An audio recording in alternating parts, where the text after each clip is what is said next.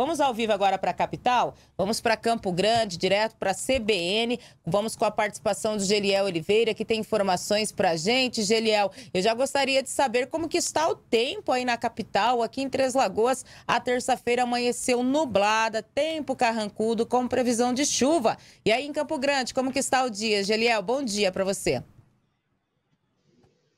Muito bom dia, Ana. Muito bom dia a todos. Olha, aqui em Campo Grande o tempo amanheceu bem parecido com Três Lagoas, viu? Com exceção de que a gente veio trabalhar aqui logo de manhãzinha é, já com uma chuva, uma garoa bem fraquinha. Tempo nublado, previsão de chuva mínima de 23, máxima de 27. Apesar do verão, um clima bem ameno aqui para a capital, um dia bem atípico. Mas a previsão por aqui ainda é de chuva, Ana.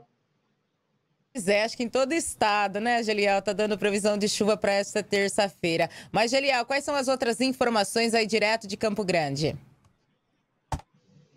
Bom, falando de educação, seguem abertas até o dia 6 de janeiro as inscrições para o curso de MBA e Cooperativismo e também Empreendimentos Solidários, que está sendo oferecido por meio de uma parceria entre a Fundrab, que é a Fundação de Trabalho, e também o FMS, que é a Universidade Federal aqui de Mato Grosso do Sul.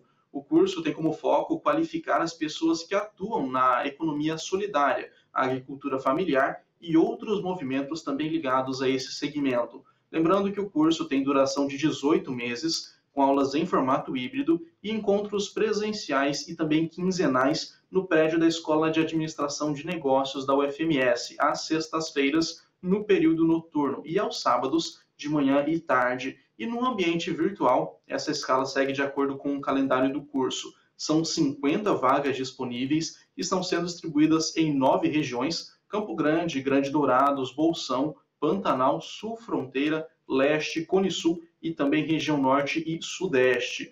É, o objetivo é ajudar os pequenos produtores no planejamento de todas as ações, como orçamento, programação de ferramentas digitais, divulgação dos produtos, auxílios nas vendas, administração financeira e também logística e vários outros assuntos que possam ajudar essas famílias, principalmente da agricultura familiar, a incrementar a renda. É isso, Ana. É com você no estúdio.